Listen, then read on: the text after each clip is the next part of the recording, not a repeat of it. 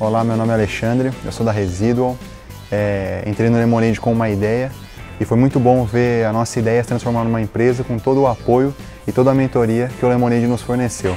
Porque a gente tinha um protótipo muito básico, muito rústico e depois de oito semanas, com muito trabalho, foi muito trabalho mesmo, nós chegamos aí no ponto que estamos para começar as vendas, iniciar vendas. Ao longo do programa a gente recebeu mentorias e apresentamos grandes desenvolvimentos. saímos do programa já com uma empresa e logo uma semana depois já recebemos duas rodadas de investimento. O programa foi muito bom para a gente.